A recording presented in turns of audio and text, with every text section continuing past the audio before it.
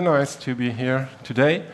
Uh, just a short personal introduction. My name is Dominique. I come from Switzerland. You can contact me on Twitter, Slack, with a quite consistent name over the different channel. And today I'm invited by. Yeah, and uh, my name is Dmitri. I come from Moscow, Russia. So that's not as far away as you might think. And uh, I work in a St. Theodoros Christian Institute in Moscow, and I'm also a Christian believer myself.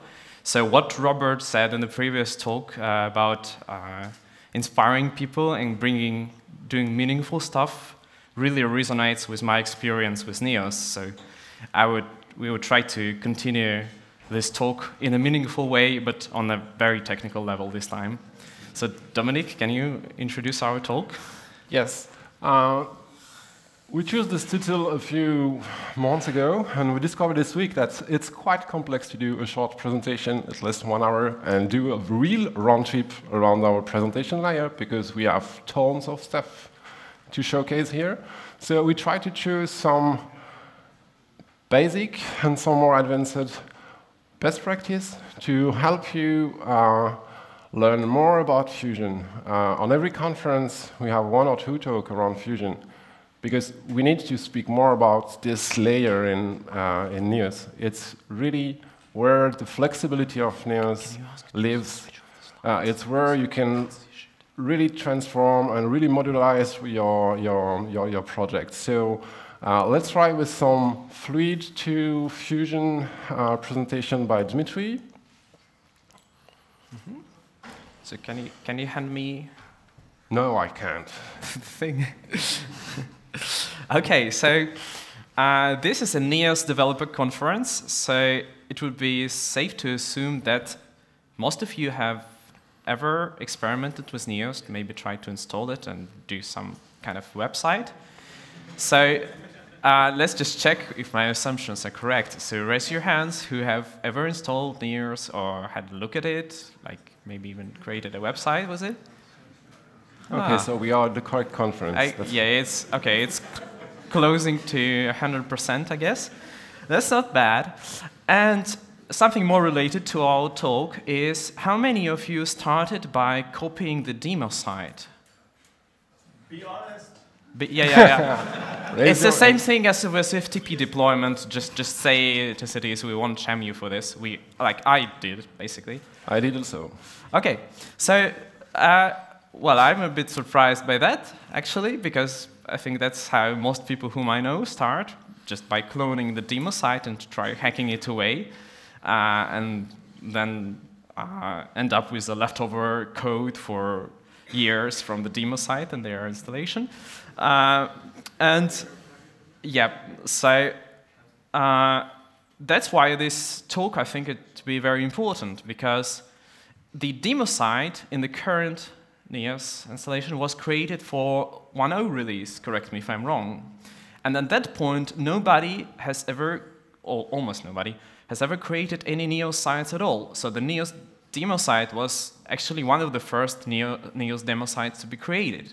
So that, those were the times like 2013, I think, uh, all before the component revolution in the front ends and all of these great shifts in web development that happened during these few years, though these are like ancient years when the dinosaurs still worked, walked the grounds of the web development. So uh, we try to, what we try to do here, we try to borrow and gather all the best practices that we as a team have accumulated during these years. We have created multiple NEOS websites. I've created like maybe 15 during this time. And uh, all of us together created much, much more. So we polled our uh, developer team uh, for how they are creating uh, their projects with Neos. And we tried to condense all of these best practices into this talk. So uh, let's move ahead. Uh, most, the first thing you see when you're starting a starting hacking your first Neos website is probably fluid. And you feel right at home there usually, because even if, you're not, if you do not have a TYPO3 background, uh, any modern uh, CMS or framework or whatever has a templating uh, engine with things like templates, partials, layout feature probably, uh, some view helpers to do some logic stuff, uh, and stuff like that. And here we will try to give you a short guide how to migrate your code to be more component-oriented rather than template-oriented. And uh, let's start. Uh, so you probably have a lot of logic inside your Fluid templates right now. Stuff like, as I said, partials, layouts, conditions, view helpers of all sorts. And it can become quite messy that you have your markup, you have your logic inside that markup, and also you have Fusion, what it was called, TypoScript 2, just recently. And that can become quite hard, that there are basically two ways to do things. You can do something in Fusion, and you can do it in Fluid. So what we are proposing as a best practice is to leave your templates as lean as possible, as logicless as possible, and move all your logic, all your presentation logic to Fusion. And let's start with conditions. You probably have conditions like this. For example, this piece of code does uh, only rendering this secret stuff string when you're inside uh, backend, Neos backend context. And this is the same way to do this stuff with Fusion. We, um, you see here, it's more declarative because you have separately your content. And you can say that the particular path will only be rendered if some condition matches, and for example, that you are in backend. Uh, so far, so good. Uh, let's move on. Ah, yeah, so you see the our template after this would look a lot simpler, just your stuff, and uh, no logic there left. Uh, now, what about loops? If you're creating, say, a blog post, uh, a blog package, and you would have a blog post listing on your front page, and in Fluid, it would look somehow like this. You take a, an array of nodes with your blog content, and you iterate over them, and uh, here you have your markup for rendering the teaser object coupled to the iteration logic of a for loop. And that's not really nice, because if you want to render, if you want to reuse this markup for teaser rendering in some other place, you will be out of luck. And this, here you have two concerns uh, mixed together, the logic for iterating over things and logic for rendering things. That's not cool. And Fusion can help you with this. It has a collection object uh, where you explicitly define that you have this collection of stuff and you kind of map over it with your item renderer. And you have your item renderer object completely uh, separate from your iteration logic. So that takes some time to appreciate actually, because that might seem more awkward to you, uh, as with anything with Fusion. But when you try it, uh, it gets better, and you can't stop uh, after all. So the same thing goes for partials. In Fluid, you have a way to reuse some HTML markup in multiple places by inserting partials.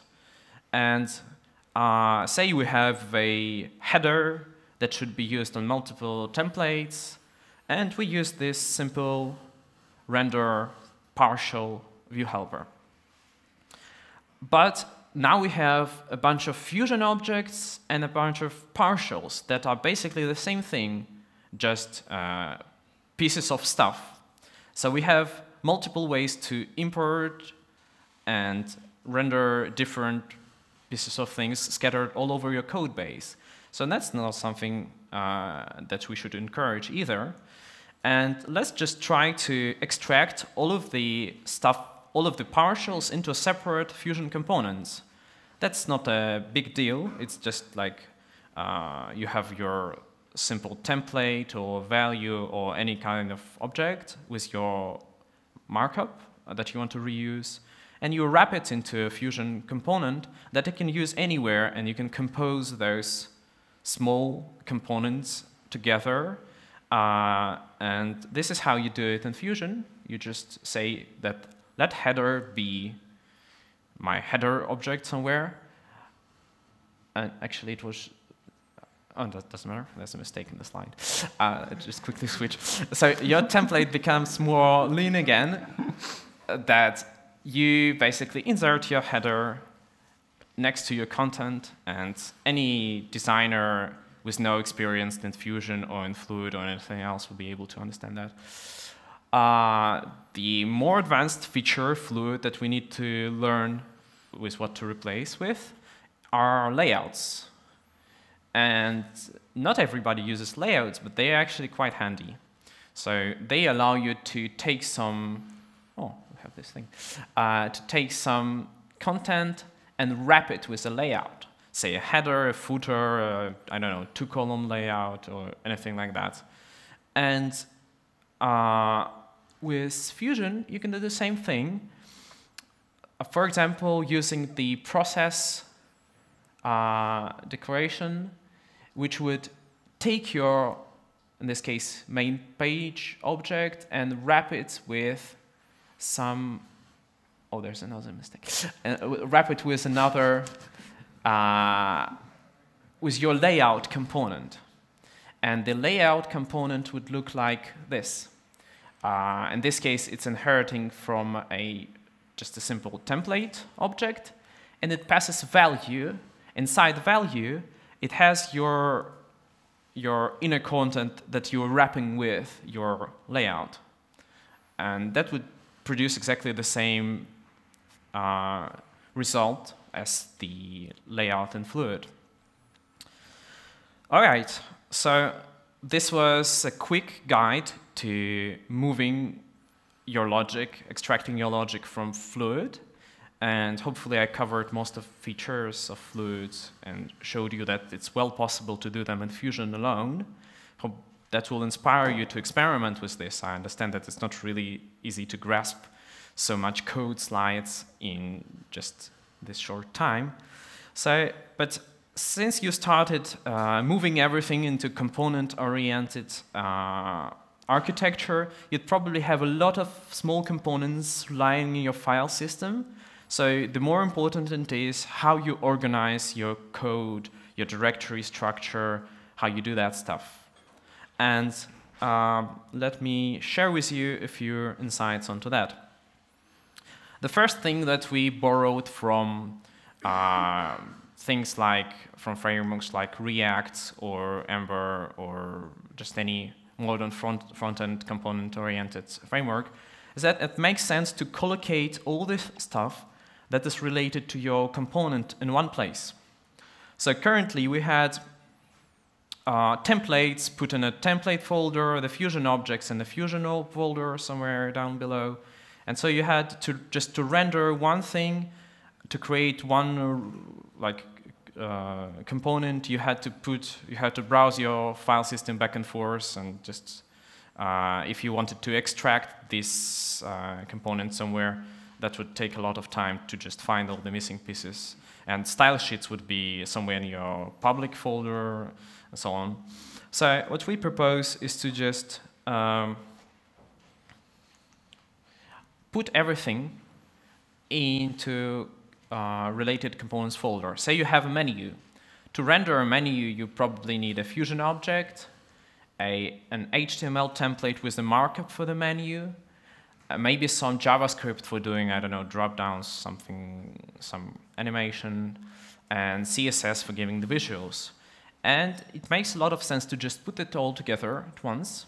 You can take care of your front-end assets with some tool like Gulp to later minify it and gather all of these small assets. You don't have to include them by hand, obviously.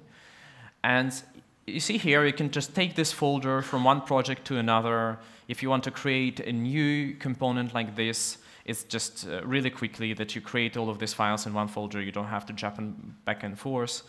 Uh, so that I think is, makes sense a lot and saves you time as well. Now, a bit more about the project directory structure layout that we propose for Neos projects. Uh, actually, is there a way to switch off these lights? Because I can hardly see what's down there. Anyways. Um, oh, thank you.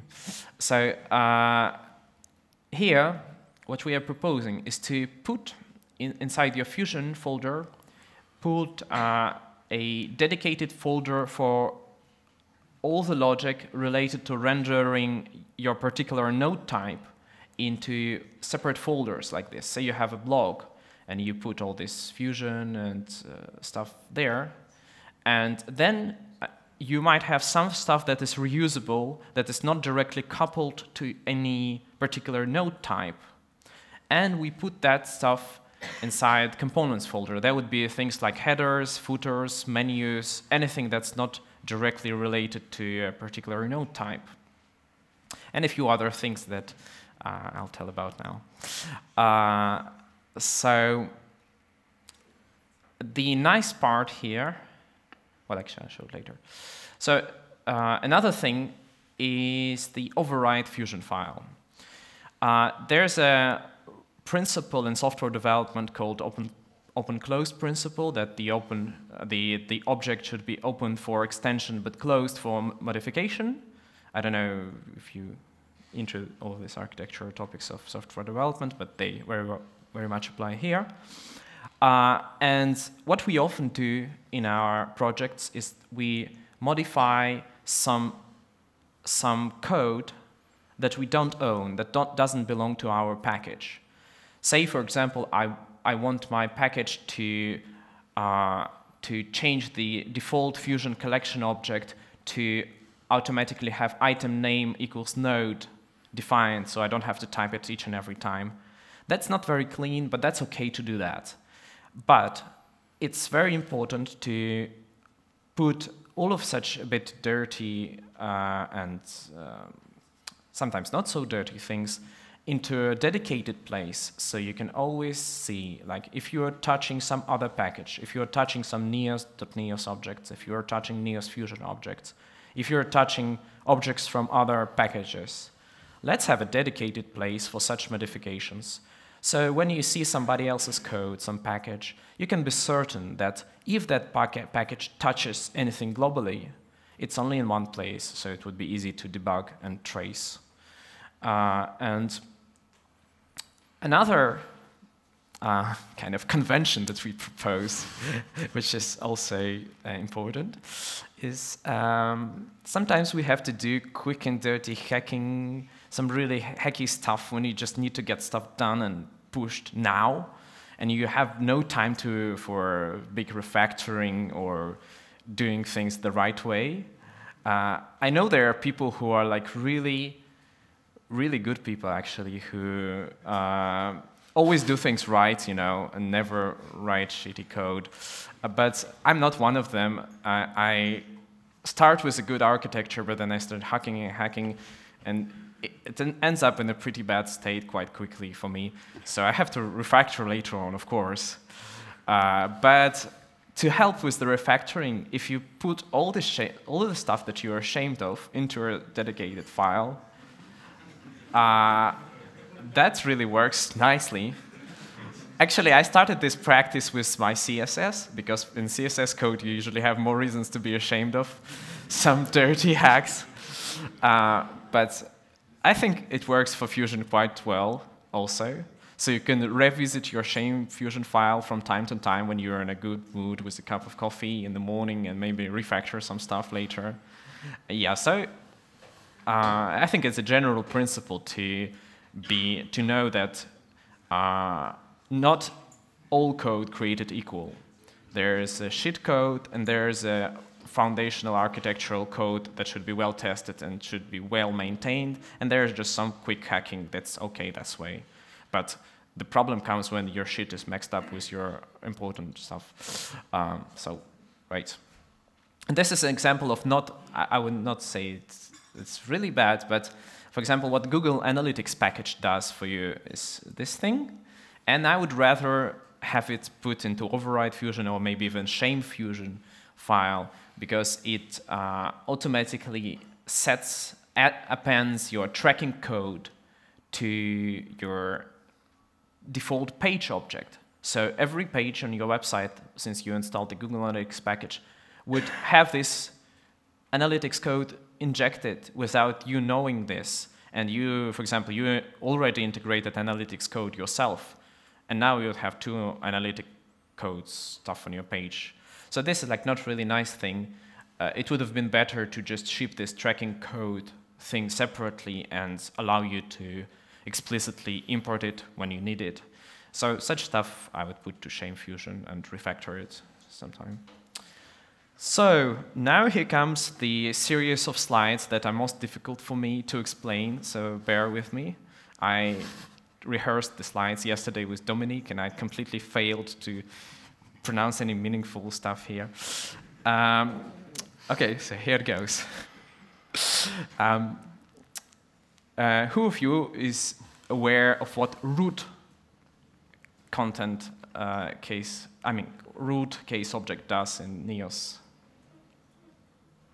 Okay, about the same amount of people who use DemoSite. That's okay, fine. Um, so in root, uh, root is a case object, and it has a default matcher that renders the uh, prototype at page uh, path, something that reminds me of TYPO3 days back then. And usually when people, ha say, have a blog again and want to make sure that the pages, that the node types of type blog are rendered with the blog's page prototype, they use such code. You see, it's quite a few amount of typing, and me and Dominique couldn't type it by heart quickly because, yeah, there's a lot of typing. So what we do here is with, we have a condition. If current node is instance of your site blog, then render it with your site blog dot document, for example, object. And that's quite a recurring pattern. If you have multiple node types, you will have a definition like this for every of your node types, of your document node types. Uh, that's quite annoying to have. So we propose to extract this logic, uh, uh, this recurring logic, into something like this, where you have you change the default uh, case for uh, that you detect from current node type its node type's name and append dot document to it, and that would be your uh, um, your rendering object for your document page. And uh, that's I think that's a really nice convention. For example, with this blog uh, document page. uh, you might put some style sheets that are specific to blog into head like this and do all sorts of modifications on your document type. And then you can automatically select the, your site blog for rendering the body content. And later you would be able to reuse this your site blog somewhere else. It doesn't have to be a document page. You can render it I don't know, we can use it for rendering out of band content or any crazy stuff like that. Uh, so how did it go? Was it clear what I just said? uh, no. Uh, okay, you just experiment and you try out these source, source samples. They will be provided to you later on. Maybe you it start it will start to make sense for you. Um, okay, so we we are over with the um, kind of basics, ba basic directory structure and basic principles. Now there's one thing uh, that I wanted to talk about is magic. And Flow and Neos are both really inspired by convention over configuration ideas. Uh, that is magic, that something happens automatically if you just put something in the right place in the right file, you name it the right way, and that's really cool when you have to quickly prototype, quickly develop multiple websites with Neos. But that's a hell to get started with, because people who are just doing their first integrations, and they have no clue why that works and that doesn't. And it's really hard to trace all the places where this magic is happening. So, for example, Neos has this idea of fusion prototypes generators. So for every of your node types in a repository, you get a snippet of Fusion code generated automatically. And uh, that's uh, something that people really struggle to understand, and a lot of bugs on the Slack channel, uh, a lot of misunderstanding happens from that. So for beginners, I would actually recommend on their first project to completely disable this magic with this snippet of code. Uh, then you'd have to do a bit more typing. You'll have no prototypes automatically generated for you, but at least you'll know what you're doing. And once you're comfortable with that, with that, once you're comfortable with the ground rules, you can go ahead and create your own proto uh, generator, uh, prototype generators. So you'll have magically generated stuff to fit exactly your the way you like doing things. And uh, you can, I don't know, automatically generate editable properties for every uh, node type property automatically. And there are a lot of ideas that where you can save uh, repeating, save from repeating the same code all over, all over again for each of your prototypes. Um, another way to save you from typing is to create your own template object. Currently, the template object, say you want to have a footer, and you inherit from a Fusion template object, and the first thing you have to start typing is template path. And that can be quite tedious to run your fingers through keyboard to type this many characters. I don't know, I just can't handle it. I usually copy paste it from somewhere and change something, and whoa, it's uh, really not cool. So if we want to follow this component-oriented paradigm, it should be quite easy to create small Fusion prototypes without too much effort. So how about using, um, well, you know that you can define your own Fusion objects with custom uh, PHP implementations like this. Actually, every Fusion object has a custom has a PHP implementing code somewhere uh, down up the prototype chain defined like this. Here you can see, um, you'll be able to see in the slides later the actual object that does this.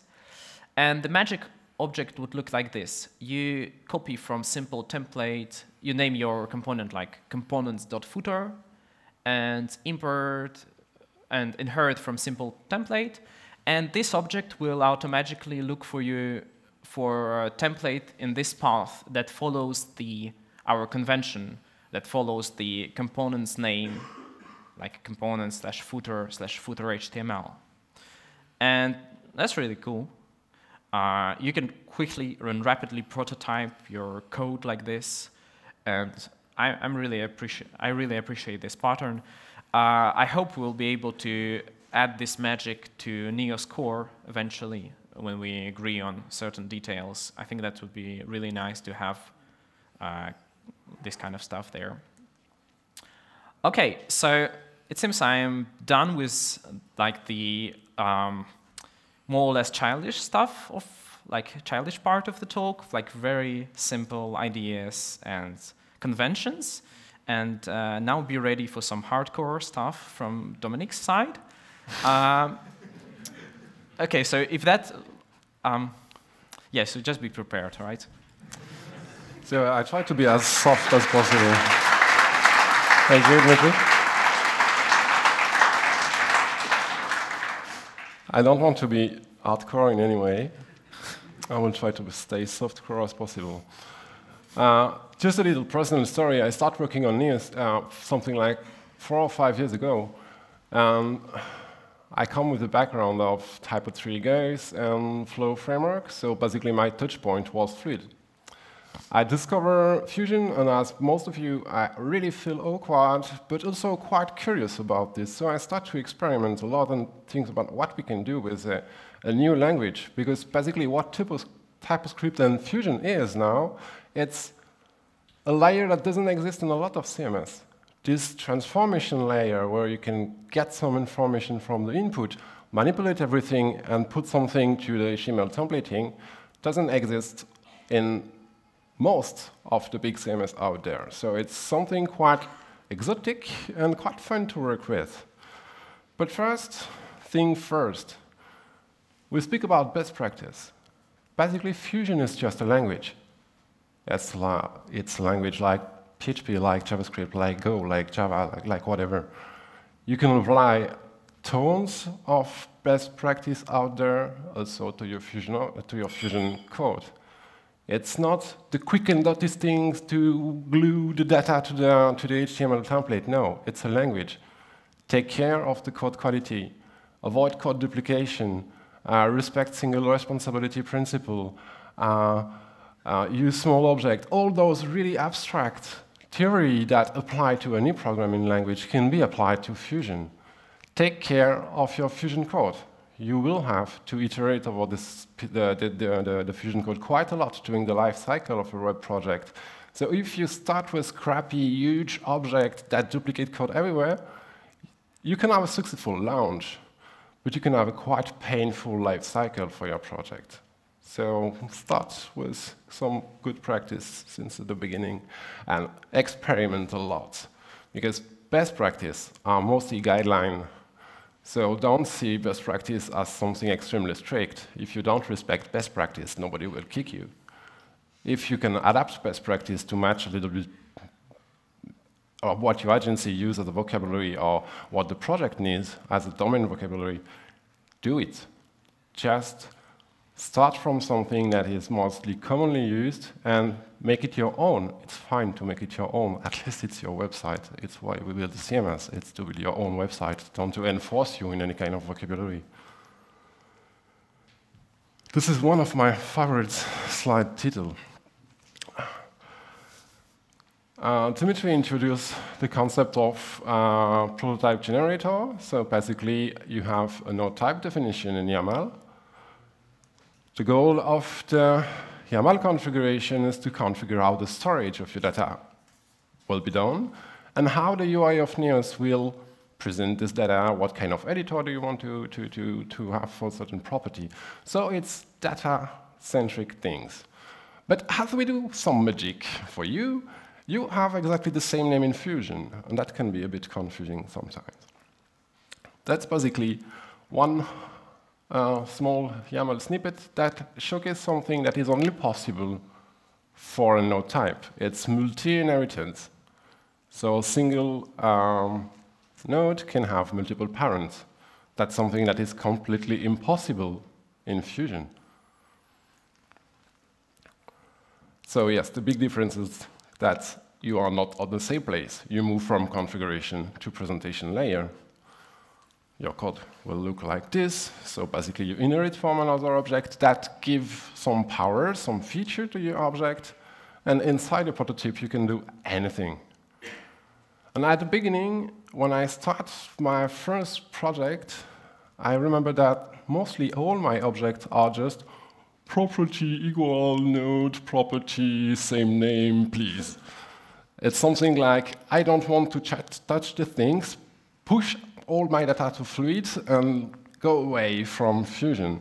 But that's, that's the beginning. you can improve later on, but basically it's what it does. It gets information from the storage layer and push to the presentation layer. But you could do lots of transformation in between. Uh, one thing caused by our magic is that many people think that a node type named book need to be rendered by a Fusion object named book.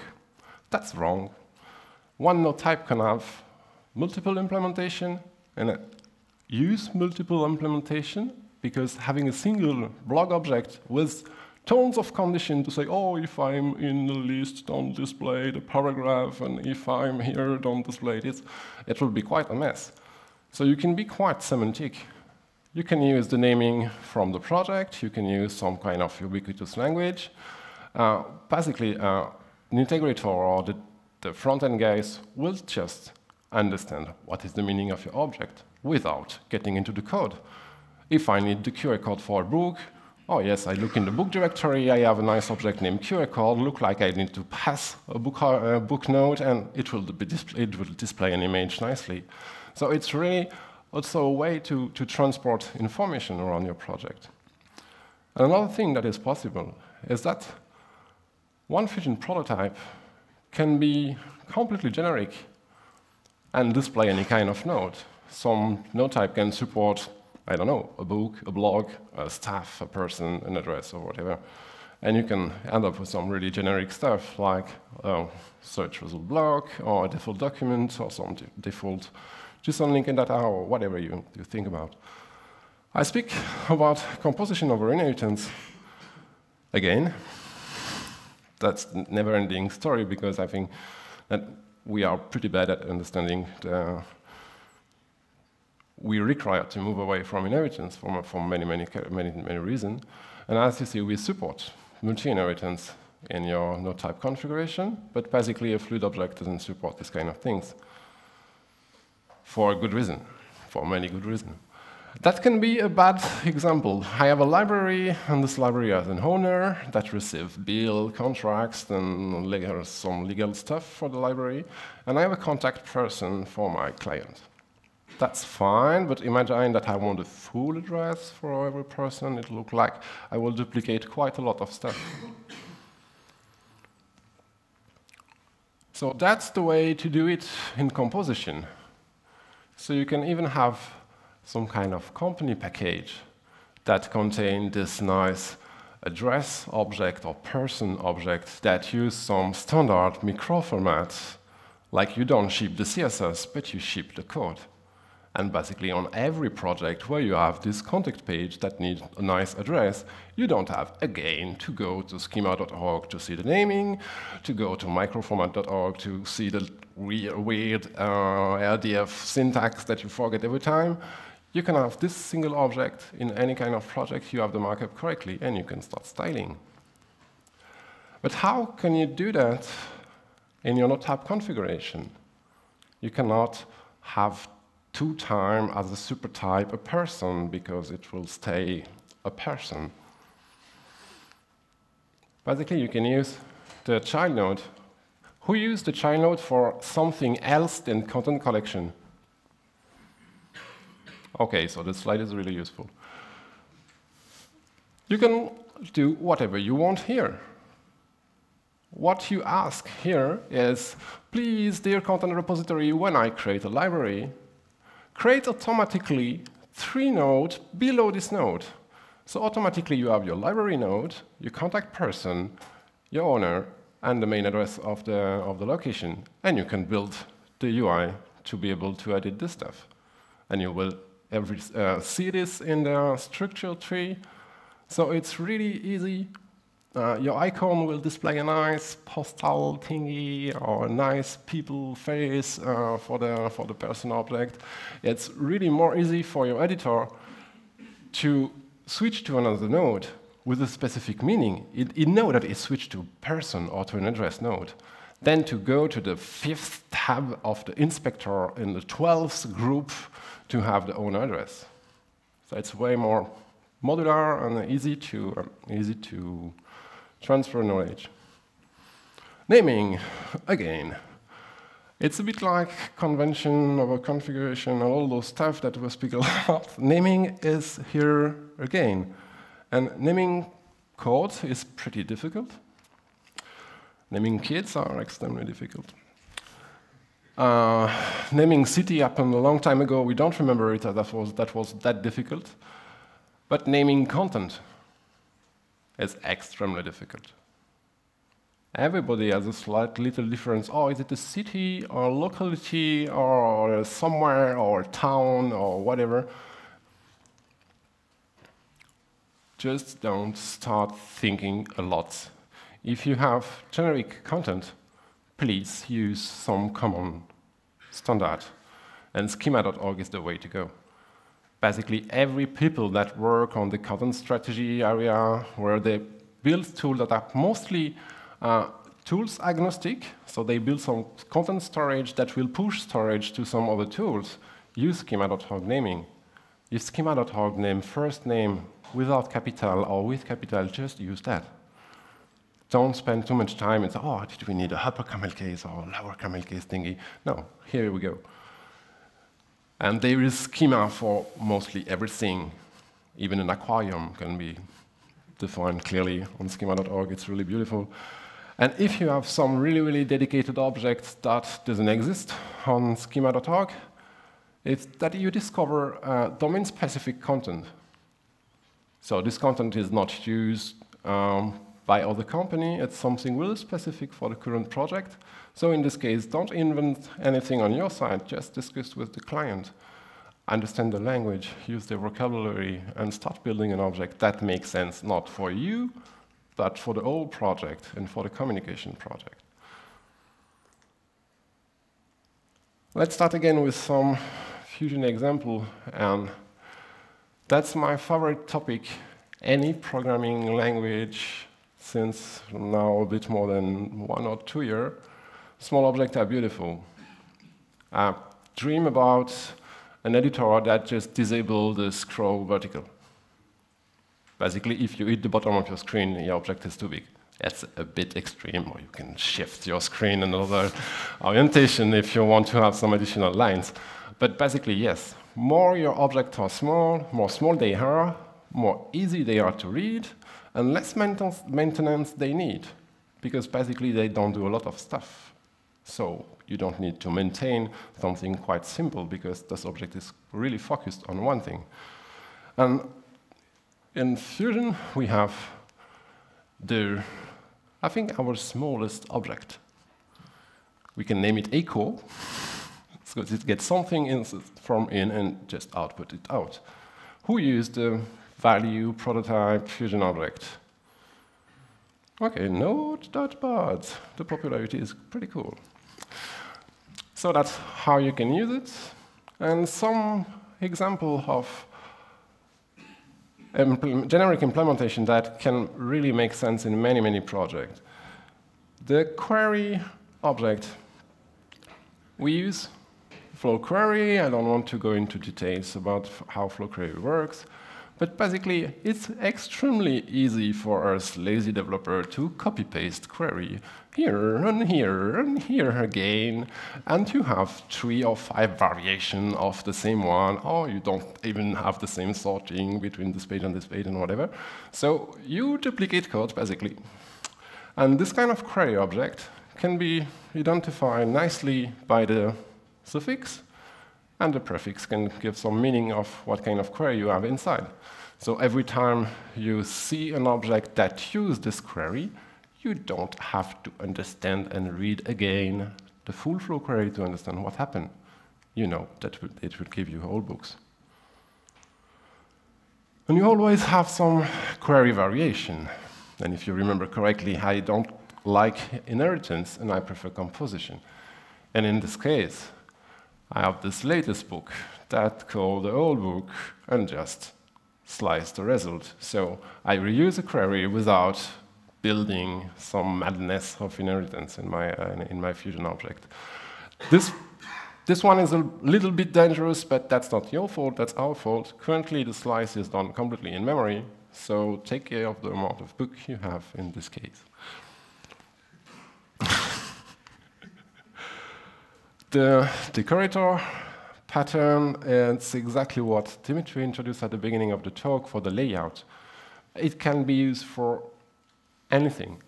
Also, for your company package, you can have this uh, alert, warning, uh, message, decorator, and any content can become a nice notification on top of your website. You add some styling, and you have something nice to reuse. And basically, it's how you define with this magic value that get the outer, the wrapped content, and it's how you use. So that's a really, really modular way to build small components, reuse them, and just extend them uh, based on the, on the website requirement.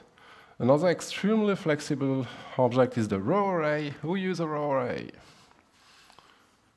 Oh, mostly the same than the value, a little less. So the array can be useful for many, many, many cases. In this case, I have a requirement, I don't know, the JSON page is use a fancy uh, React application, so I need some JSON payload to bootstrap the application. That's how I can get the title with a flow query. I can get the price with a flow helper with something a bit more advanced, but can allow me to call an external service and get the price for today for, the, for this book. And I use the process to transform this array to a JSON string. And I can just do a format raw in my Fluid template, and the, the Fluid template is really, really slim. No logic at all in Fluid to have uh, JSON output. There is other small object, but I don't have time to, to show example, and I don't want to kill any of you with too much example today. That's the raw collection and the tag. Check the documentation. Uh, we use uh, the tag object in some place in here, so look at the example and it's two really nice objects to have in the toolbox. Another thing, there is this, we are in a presentation layer. So basically what we can do, what can we do here? We get some information from the storage layer, from the application logic, and we want to transform it to, to make it special for your layout. But don't leak any business logic there. This is not the correct place. So there is some, you know, it's not that complex. You just apply a discount on the price. but that's exactly what uh, need to be part of your business logic. And in DDD term, business logic need to be handled by the domain model. And in NEOS, we have a pretty generic domain model. It's Node. So it's basically extremely generic. It cannot be aware of price, because not everything has a price. But you can make it more specific. That's something that is even not documented currently, but will be in the next release or in the next few days, because we think that it's an extremely dangerous extension point. If you do that, your book object need to implement, need to implement the node interface. Don't try to do that by yourself use the current node and extend the current node and don't and ever touch an existing method. It's just walking in a landmine. You, you, can just explode everything. But it's pretty fine if you add a getter for the get price. If you don't override something, you can add more logic that makes sense for this book. And the template move to that. So I don't have a flow query. It's extremely meaningful, uh, semantically correct I think we ran out of time. I have some more slides. I will put that online. And one last thing, not too much.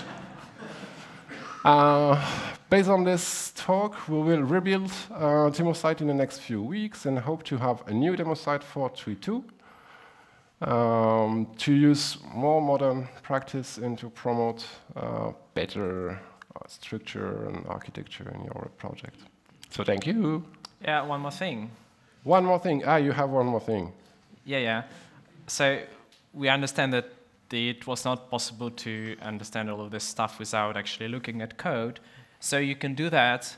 Uh, we have cooked a very small replacement for demo site for the next few weeks. We will remove it when the demo site is done. But here you can see a very little tiny project that uh, implements what we think are the best practices. So just go ahead and look at it uh, if you didn't understand uh, anything that we said. So thank you. And if you have questions,